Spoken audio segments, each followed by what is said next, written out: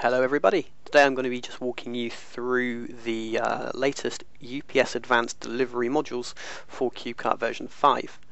Uh, this uh, really does allow you to take advantage of any UPS contracts you may have. So it will talk to UPS and it will get you your shipping quotes based on any preferred rates you have and the information contained within your UPS contract. This, uh, this solution comes in two individual packages. Uh, the first is a standard plugin, and the second is the actual shipping method itself. So I'm just going to run through uh, the configuration of each and explain how these work. So the first option here is the plugins, and we can see we have UPS multi-item. And there's not much to really configure within this plugin except your license information. Um, it tells you the version number that you're using here as well. So this is purely um, for licensing it does also allow us to add some additional tabs to the product edit screens. Um, so let me just show you that. Let's edit our product. You can see here we have this UPS tab. So this isn't a tab that you would normally find within CubeCart. So if we click on the UPS tab, you see we have some configurable options. So the first is these multi-box settings. So CubeCart doesn't actually support uh, splitting up your consignments into multiple boxes, um, but you may have a requirement to do so. Um, so this allows you to specify, you know, large items that require their own box, which UPS would charge you per box. Um, so all you can do here is ship in single box, yes or no. Well, this particular item I know is a bulky item, so yes, I want it to ship in its own box. Um, for items that you don't ship in a single box, you can configure if this item is considered a small item. For example, you know, like a packet of hairpins or a packet of cards or, or something small that you can tuck inside a large box. So, because it's a single box item, this is set to no. Uh, include small items means because it's shipping in its single box, we want to be able to include some of these small items or products that are configured as is a small item equals yes inside this box. And then we decide how many of those small items we want to actually include in this box. So for this particular product, we want to include four. So just to give you a hypothetical scenario, you your customer comes along, purchases the big item, which is configured with ship in single box, and then two packets of cards, for example, which we know is a small item. It would bundle it all into a single box, um, and uh, and would give you a quote just for that one box. If they purchased more than the limit, so four or f- uh, five you know small items, then it would uh, it would actually break it up into two separate boxes and quote for both boxes and give you the total. We can now also add dimensions, um, which you can spe uh, specify in either centimeters or inches, and I'll show you where you configure which system you're using in, in a little while. The um, the dimensions are optional. You do not have to supply them, um, but if you do, you will get much more accurate quotes, um, which will obviously work out better in your favour, so you don't undercharge for your packages. So once you've specified your options for each product, you just save this and uh, and you're good to go. Uh, it is required um, with all UPS modules, even the ones within CubeCart that come as standard, that you specify a weight for every product. Okay, so once you've configured all your products with the UPS information, we can then go on and configure the actual shipping module itself. And here you can see uh, see just the, the, the, configuration screen. So you see there's a lot more options than you would find in the standard UPS uh, module. So the first thing is uh, the UPS account settings. Um, and these are settings that you may need to request from UPS specific to your contract. So the first thing you need is an API key, and you will need to request this information from UPS. They will give you uh, a license key that you can use. The next two pieces of information um, is the username and password that you use to log into the UPS website. And the final information is the UPS account number that um, is available within you know, your UPS login. So those pieces of information you need to get from UPS, and they are required bits of information. The next uh, we find are the module settings. So the first thing is do we enable or disable the module? Well, enable please.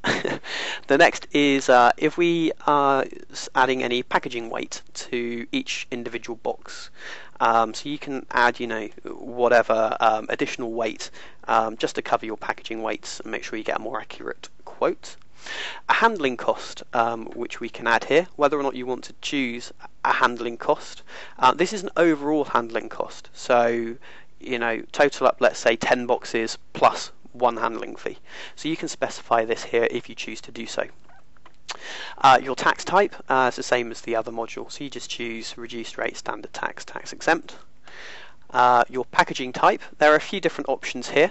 Um, these are all of the available options um, that UPS provide, um, but uh, you may need to check um, which one uh, is best suits you. But most of the time, uh, in all the experience I've seen, um, people use customer packing. Uh, unit of measurement, uh, centimeters or inches. So this is what I mentioned earlier when you were configuring the product dimensions. Um, just a point of note here, UPS require you to either use the metric system or the imperial system, um, they don't allow you to mix the two together.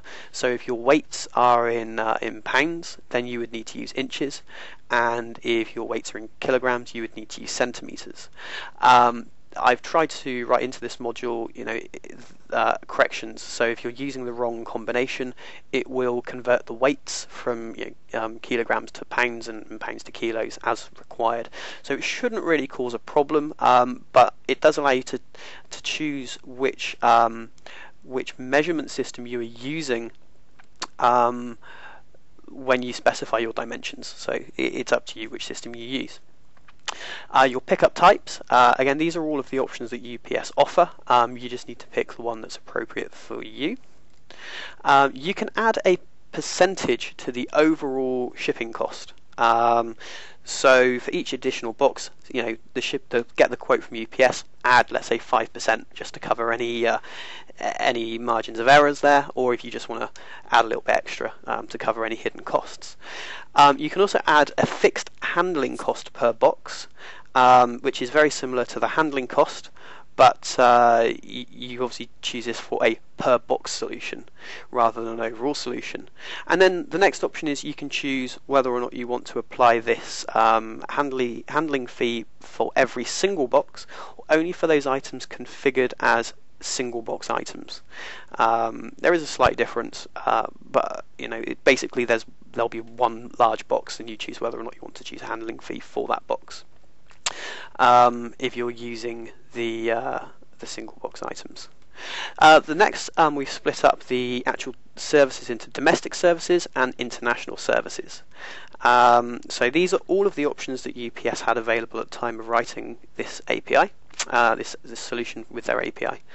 Um, so you just pick the ones that are suitable for yourselves.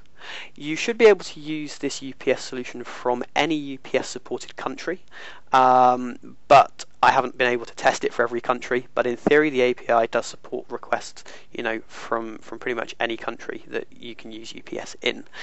Um, so if you do start using it um, outside of the US um, or you want to try it out, let me know if you run into any problems and I'll put some fixes in for you if there are problems. So once you've configured all of your options, you can actually start to use the module itself. So I'm going to show you uh, using some fake data and um, uh, one of my customers, um, Woodshop. I'm going to use their template just to show you, um, you know, the, the, shipping quotes working. So I've already added the doll stroller, which we saw earlier, um, to my cart. I'm simply refreshing the page. Select your shipping method's gone away, and it's given us three individual quotes. So we have UPS ground, three day select, and two day, which were the options we'd chosen, and it's given us an accurate price in US dollars for each. So then you would just simply choose your shipping method and then continue checkout as you would normally. Uh, one other thing to note here is we have an extra tab within the shipping module and that is the UPS error log. So you can look at this and you can check if there have been any specific errors. Um, an error could be something like, you know, we don't ship to your country, um, but it's useful because if you're having problems with configuration, you can look in here and pick out the specific uh, specific errors, and it should give you an idea of what you need to do to correct it. So that's pretty much uh, a very quick run through of, of this module. Um, if you want any more information, let me know. Um, and demo licenses are available on request. Thank you very much.